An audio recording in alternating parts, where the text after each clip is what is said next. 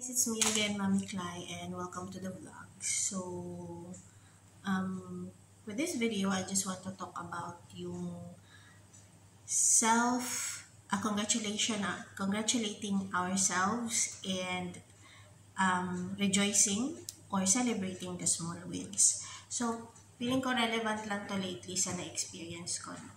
For a very long time, feeling ko I was very irrelevant sa aking position or sa aking trabaho. I was always looking for recognition and I wasn't getting that.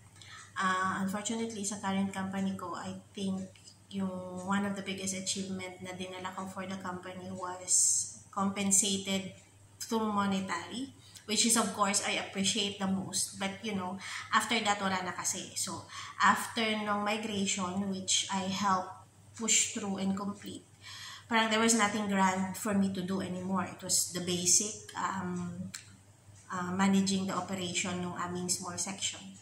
So, I was looking for recognition and, and I believe I was very bitter.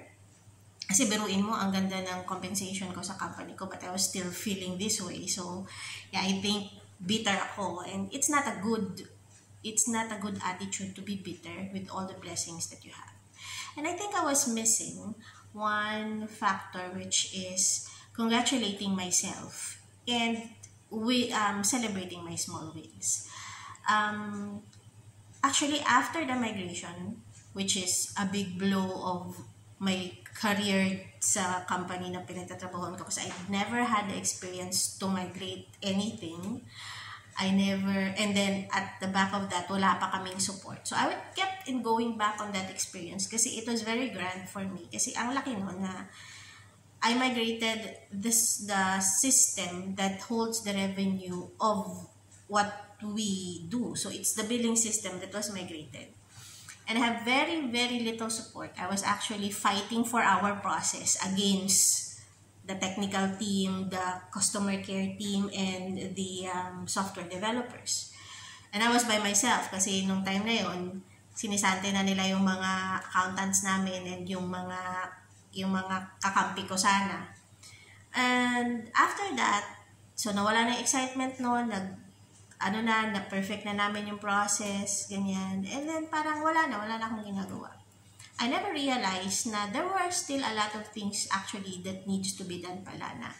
Ang dami ko palang open projects na never kong na-close kasi I wasn't happy of where it was going and I wasn't celebrating the small wins of the small uh, small area na nako-close ng bawat project. So, 2016 pa nag-migrate we took a year para mag-adjust and to correct all the uh, all the mistakes that happened during the, the migration. Another at least one year to perfect everything and to see kung alin pa yung mga need for for um, adjustment. And then from that particularly year, so siguro 20, 2018 na yan, ano, from 2018 to 2022, ang dami pa palang open na, inopen ko na yung mga issues previously, never ko siyang na, never ko siyang nasundan and never ko siyang na-close. Because I was so, so demotivated because no one was actually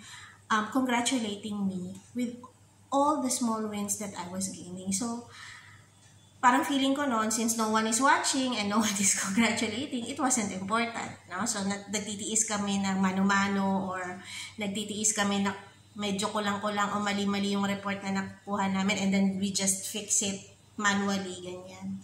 When in fact, I should have went back developer and said, okay, we want it done this way, this way, this way, this way, this way.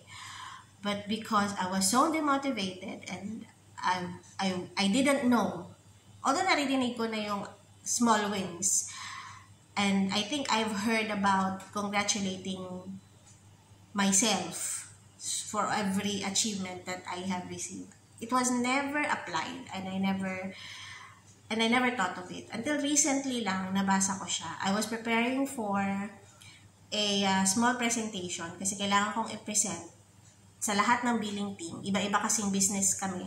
May GSM, may um, I, may ICT, and then kami yung TV. So, kailangan kong i-present sa other billing team kung anong ginagawa namin sa TV. And then when I was doing it, sabi ko, ano ba may pagmamalaki namin sa TV, ganito, ganyan. Eh, kumbaga, ang management, parati kami minamaliit, ang tingin sa amin, ang liit-liit ng revenue na pinapasok namin. So parang, na-absorb namin yun.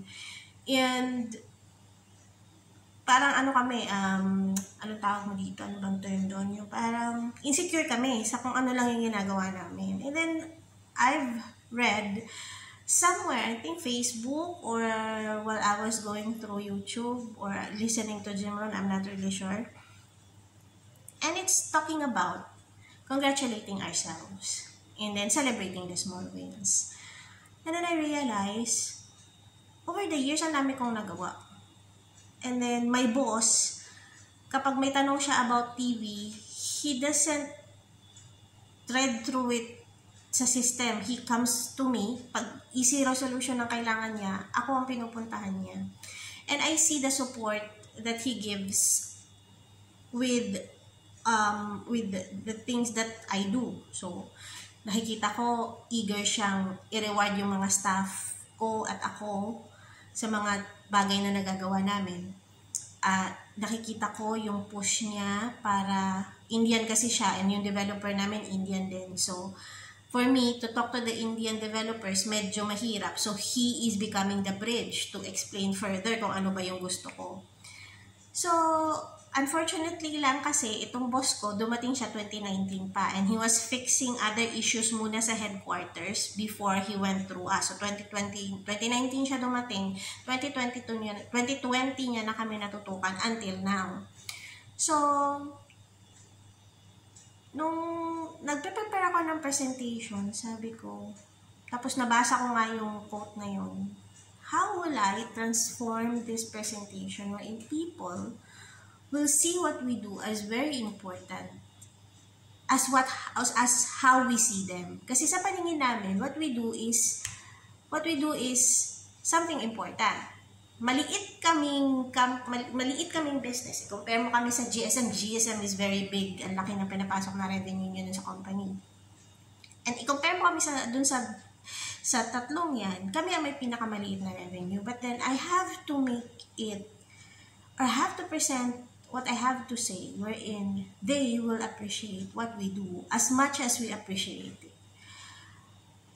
And then I realize it will be difficult to show them na ganito kami kaganda magtrabaho at ganito kaganda yung process namin at yung products namin if in myself I don't see that way. So I started looking into the emotions that I have sa ginagawa namin. And then eventually when I started thinking myself and my team doon sa mga naiambag namin sa contribution namin sa company and sa process. Kasi yung process pa lang, iisa-isahin na namin yan. During the time na nagagawa kami ng process, we didn't have, we didn't have um, a boss na directly connected kami dun sa bigger boss. We were practically functioning as ourselves. So, nung I started looking into the emotions that is attached to the job that I do, it was my responsibility to transform those emotions into grand terms that I can use a presentation to make people realize and appreciate na ah, hindi lang pala sila nakaupo dyan and doing nothing. They are doing actually something and they are doing everything. Kasi um, yung ibang department billing department pala, they don't have a full control over their system. Unlike us, kami ang activation, kami ang deactivation, kami ang billing, kami lahat, pati reconciliation, that was all us. So it's like, nung nagpe-present na sila, na started presenting, what we were lacking was we failed to congratulate ourselves when we were doing a great job over the years where no one was recognizing us outside of what we do. So that's very important. Nung natutunan ko yan, so I did the presentation very well. My boss congratulated me and showed everyone now that this is what they do, they, they consist of this, and he was very proud of us. I realized that ang sayang pala ng mga panahon na I did not recognize what we were doing and I wasn't able to recognize my team. I failed on those many, many years. And I hope for I was to be able to, you know, um, makabawi pa sa kanila. I'm hoping to uplift their spirit pa kahit pa paano.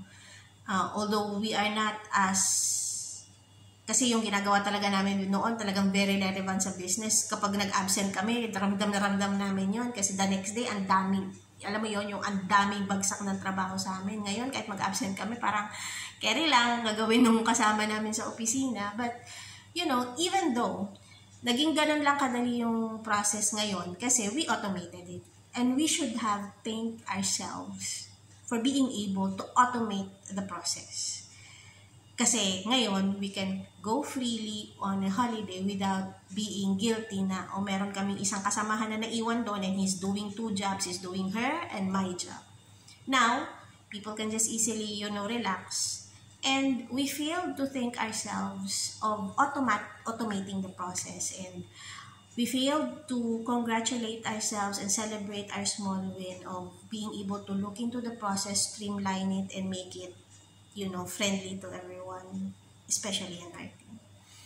Basic, and because we failed to notice the small wins, we were bitter na may ginawa pala kami maganda but because we didn't we weren't not we were not recognizing it parang feeling namin wala pa rin kaming nagagawa and it was it's bad kasi kung we were able to celebrate the small wins previously we would have ironed out all the issues na until ngayon tuloy sinusundan pa rin kami. And until now na I'm about to leave the company parang I feel that oh I left some things hanging pala.